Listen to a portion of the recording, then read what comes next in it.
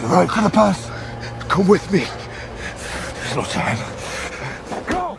The death of Benjen Stark was amongst many of the things that felt wrong about the last few seasons of Game of Thrones.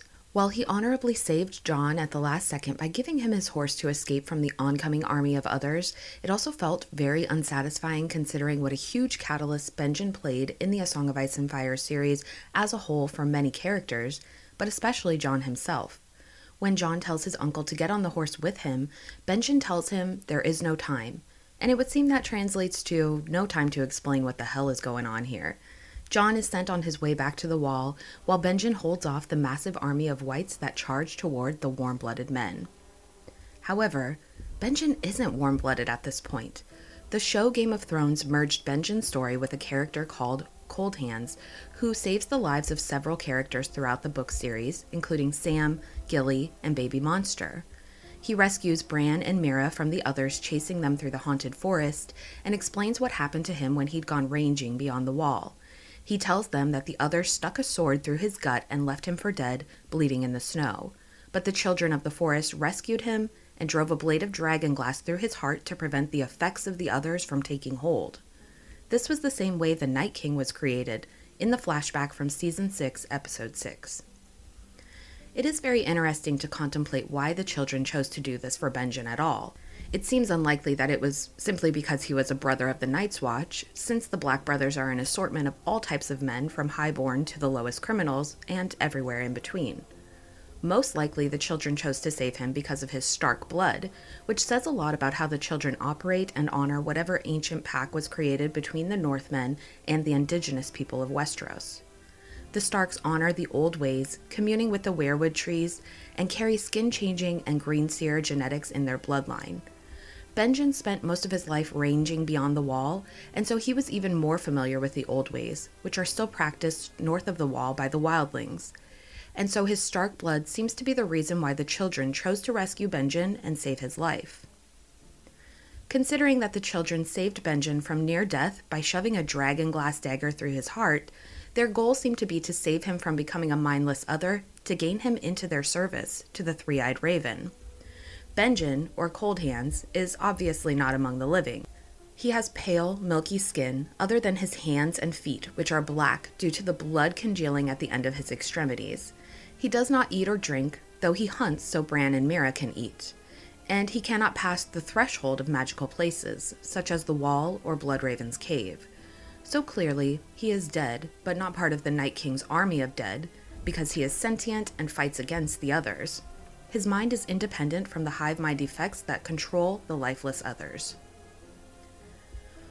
With this in mind, it seems unlikely that Benjen was actually killed by the others the very last time we see him. Yes, they tackle the undead warrior as he swings his flaming mace at the onslaught, but we don't actually see him die. If he is undead, we must consider how he can become, well, more dead. In typical zombie lore, this would require getting his head chopped off or being blown up but we just didn't see anything like this with Benjen, which leads me to believe this may be the perfect way to lead into the new Jon Snow series.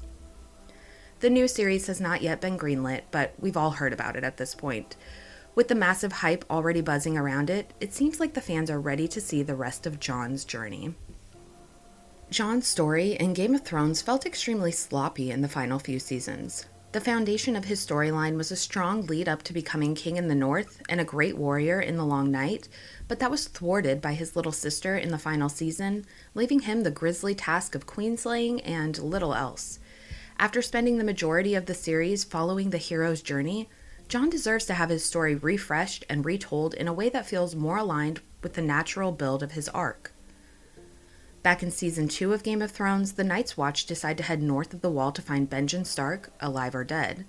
Jon was determined to find his uncle on that first venture beyond the wall, but he got more than he bargained for when the new recruits encountered the others at the Fist of the First Men. Benjen was never found, though Jon thinks of him often throughout the A Song of Ice and Fire series. Later, Benjen, or Cold Hands, rescues Bran and Meera in season 6 and has time enough to explain what had happened to him. But when Benjen rescues Jon in season 7, he doesn't have time to explain the changes he's gone through. And though he is attacked by the others, it seems that rather than killing him, they would have taken him hostage. Benjen Stark would be so much more valuable alive than dead in case a bargaining chip were ever needed. For viewers considering coming back for the new Jon Snow show, it could be interpreted as a little redundant, or even a cheap shot by HBO to fix season 8. There's not even source material to work from, since The Winds of Winter has still not yet been released. But there is still a huge desire for answers that we just did not get in season 8 of Game of Thrones, and so it would be prudent to find a way to hook viewers in if they still might be skeptical. A fantastic way of gaining the audience would be to put a beloved character in an extremely dangerous situation. We might consider that Benjen is still alive and a hostage of the White Walkers, or a power even greater, which controls the Night King, a source of the hive mind effect. If there is a bigger war looming, and the Long Night was just the beginning, then it seems obvious that this would be the storyline that the Jon Snow show would follow, the perfect catalyst to kick this show off would be proof of Jon's beloved uncle, lost for years beyond the wall, to lure Jon further into the north to meet his ultimate fate and finish what was started. Jon would feel compelled to rescue his uncle Benjen, no matter the odds. When Bran has his first vision, he looks north, and what he sees terrifies him and chills him to the bone.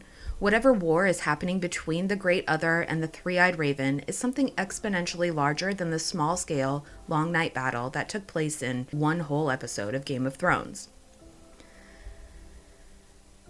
Joseph Mawle, who played Benjen Stark, was perfect for the role and has become fixed in the minds of fans as Uncle Benjen. There could be no other. This incredible actor always dives deep into the roles he plays, and his recent role as Adar in The Rings of Power stole the entire show. But unfortunately, just a few weeks ago, shocking news came out that his role had been recast to Sam Hazeldine. This was completely out of left field because Joseph had done such an incredible job as Adar. His statement on Twitter implied he'd left on good terms to move on to other worlds. And once the initial shock of his departure set in, the first thing that came to my mind was the new Jon Snow show. Did Joseph Mawle leave Rings of Power to reprise his role as Uncle Benjen in the new Jon Snow series? The timing seems entirely coincidental, and seems like the best explanation as to his sudden departure from the Amazon series. Rings of Power was met with mediocre reviews, despite high hopes, and HBO seems to be putting all of their eggs into the Game of Thrones world in efforts to match Disney's expansion of the Marvel and Star Wars universes. With the unrivaled success of House of the Dragon, it would seem like an easy choice for Joseph Mawle if given the opportunity to return to a beloved role with a much higher chance for success. No one wants to go down on a sinking Numenorean ship if they don't have to. There is so much more to consider about Benjen Stark's bigger role in the A Song of Ice and Fire story, especially once the new Jon Snow series begins. He plays such a crucial role in the early parts of both the books and show, and his death and final appearances left so many questions, especially for Jon. One of the biggest reasons Jon felt so determined to get to the wall was because his uncle had already been serving there for many years, though this did give him a false sense of security to be found in that very comfortless place.